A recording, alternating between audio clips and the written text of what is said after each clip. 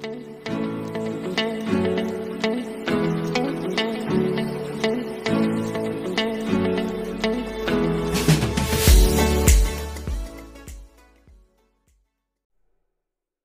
day guys, Mark here again and welcome back to my channel. If you're new to my channel, you love cars, DIYs and anything under the sun, please consider subscribing and check out my playlist. So today mga paps, uh, itatry natin yung bago nating high flow filter. Um, titingnan natin kung yung acceleration ba nag-improve.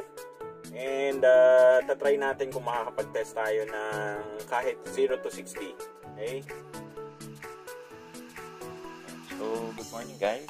Uh, I'm here to discuss about yung initial uh, performance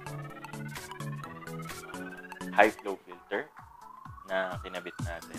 And yesterday I was able to uh, try yung performance niya and uh, napansin ko agad na gumaan yung acceleration. Uh, kumbaga parang gumaan po lalo manakbo yung aking brush. And uh, kumbaga o-obserbahan naman natin is kung uh, yung filtration ba niya is uh, maganda. Malalaman po natin yan sa siguro after a month or two. Tapos uh, yung fuel efficiency siguro mas masusubukan natin yan after uh, siguro kung makapag uh, tayo na uh, medyo malayo-layo i-update ko kayo gagawin natin wala tayong babaguhin sa driving style natin. Uh, titingnan natin kung titipid ba or will it be the same or lalakas sa uh, gasolina. So ang verdict ko para sa akin uh, yung performance niya nga magaan kasi dito sa lugar namin. Paahon po ito. Kumbaga matatarik po yung matarik po yung paakyat so yung extra na boost para sa acceleration malaking bagay na ang uh, maganda pa doon intact pa rin po yung air filter assembly. So yung risk na maaalikabuhan or may papasok na malalaking debris sa makina is uh, hindi po kumbaga mami-minimize kasi nga yung assembly na yon is uh, malaking bagay po. Tapos uh, yung uh, what do you call this? Yung 0 to 60 na test ko siya kahapon pero saglit lang kasi nga medyo maraming sasakyan eh. Uh, yung 0 to 60 niya is basta ano guys uh, magaan siya manakbo tapos mag- mabilis siya mag-accelerate kumbaga mabilis niya makuha yung yung dati na medyo mabagal ngayon mabilis sa engine noise naman wala naman nagbago ganun pa rin yung tunog. Uh, medyo mas aggressive lang siya pag inapapakan pag inapakan nyo. Kumbaga mas ano siya mas may galit kumbaga. Uh, i-observe pa rin natin siya siguro after uh, few weeks few months. Titingnan natin. Kasi ituturo ko rin sa inyo kung paano siya i-maintain linisan and uh, yung price niya uh, kung makaka-come up tayo ng 5 or more na bibili we can only get it for uh, 2,800 pesos. Pero kung less than 5, ang regular price niya po is 3,200. Para sa akin, yung price niya is okay na okay na kasi ano siya guys eh, uh, stainless po yun. Gawa sa stainless. Tapos, yung materials niya, yung yung hindi ko lang talaga nagustuhan.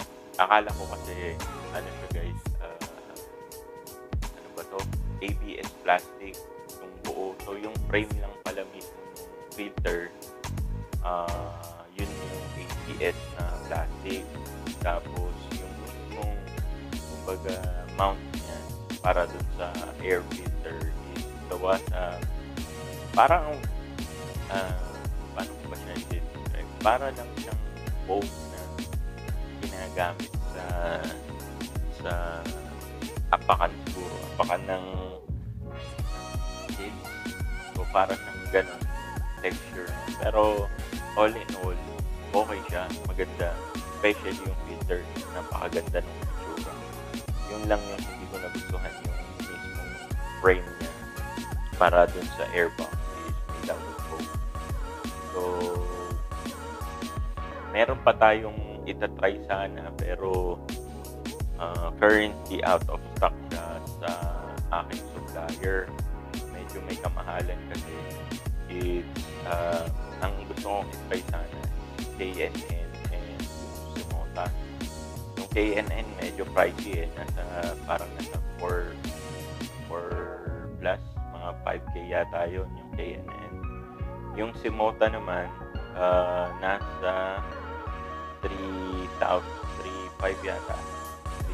3,500 so cheapest dun sa option natin itong uh, yung OEM natin na high flow I'm pretty sure yung performance niya would not be uh, different. Siguro baka nga identical lang ang performance nila eh. kasi yung concept naman iisa it's just that yung price point syempre you're paying already for the name the brand name. Uh, siguro kung may uh, magkaroon ng chance ang gusto kong itry yung Simota naman Simota pero if uh, yung filtration nitong OEM is maganda I'll uh, baka mag-stick na lang ako dito sa OEM na high performance filter so kaya ako gumagalaw-galaw kasi si Mia nandito sa paakanan ko ayan So, ayun lang guys. Uh, kung interested kayo mag-order, pre-order kasi to guys. Kasi medyo may kamahalan din yung puhunan niya.